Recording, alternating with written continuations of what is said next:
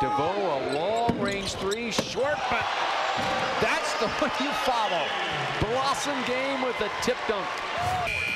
So Clemson in firm control. Blossomgame, the rebound dunk for the Clemson Tigers.